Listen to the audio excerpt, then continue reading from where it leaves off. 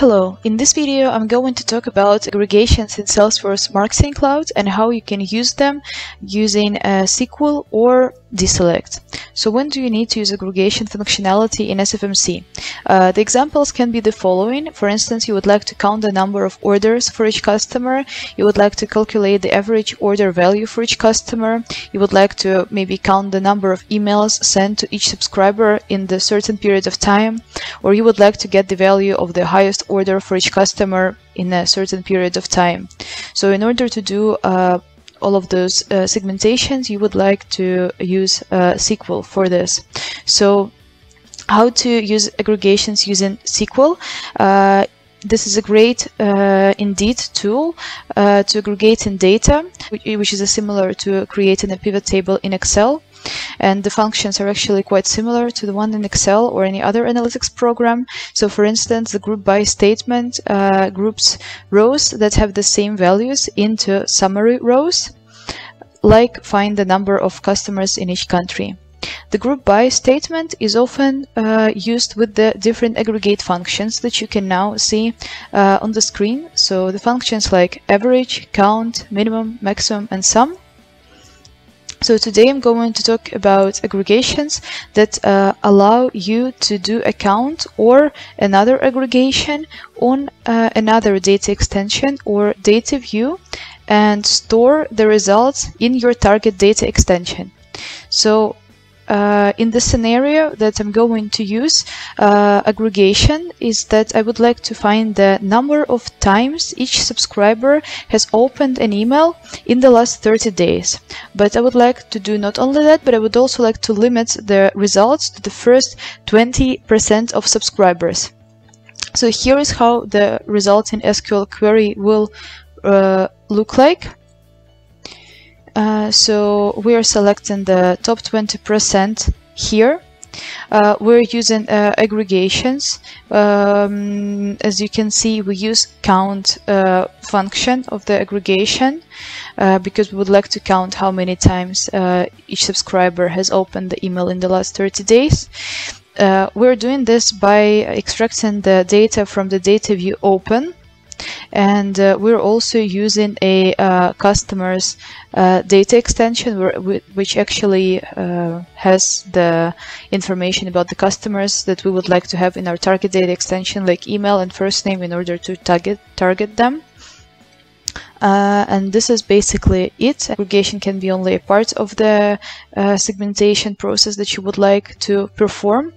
Uh, and uh, if you don't want to learn SQL to uh, segment your audience in Salesforce Marketing Cloud, there is also a solution like DESelect, which is a no-code segmentation solution for Salesforce Marketing Cloud. And now I'm going to show how to recreate the scenario that uh, I've created using SQL in DESelect. So now I'm going to show how to recreate the same scenario using DESelect. So the first thing that we need to do is to actually open DESelect, which can be found in Salesforce Marketing Cloud under AppExchange here. Then you will be redirected to this overview screen and from here we're going to click on new selection we're going to start with giving a name to our new selection. We're going to simply call it aggregate. And now from the available data extensions, we're going to drag and drop data extension customers to the right. Here we can provide alias for our data extension, but we're not going to do this and save it as it is.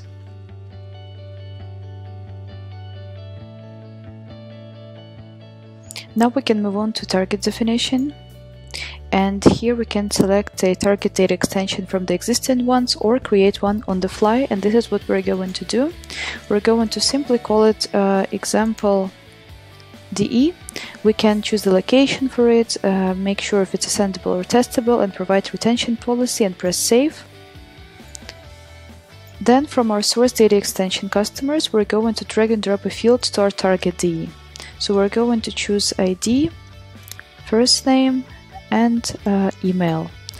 And now we're going to actually do the aggregation. So under custom values here we can click add new value.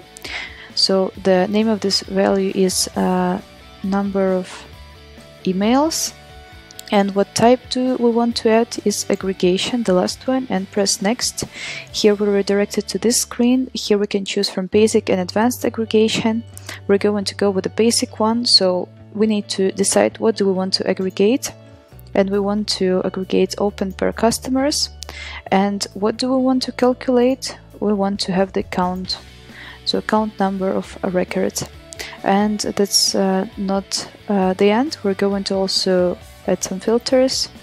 Uh, we're going to filter on the event date. We're going to go with uh, uh, is after, choose relative, before now, and select 30 days before now. I'm going to move myself here, press save, and save here. Again, and now I'm going to simply drag and drop this new field to our target DE and save our data extension.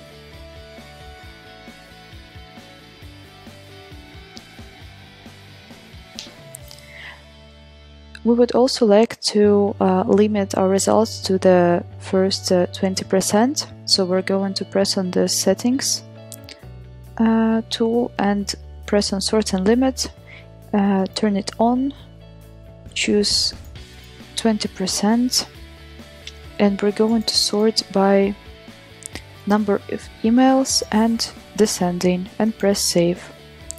And now we can move on to the preview and press run preview preview will bring us the first 20 results out of our target uh, selection and if we're satisfied with the results that we see, we can always press run and it will be run inside Salesforce Marketing Cloud and our target data extension will be populated.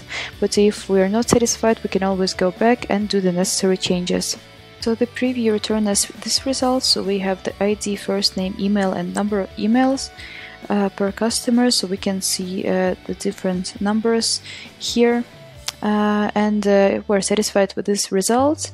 And that's it for today's video. Uh, hope it was useful. Make sure to subscribe to our channel to watch more videos like this. And also subscribe to our newsletter. The link you can find in the description to this video. Uh, that way you're always the first to find out about the SFMC best practices and uh, valuable tips and tricks. Thank you for watching and bye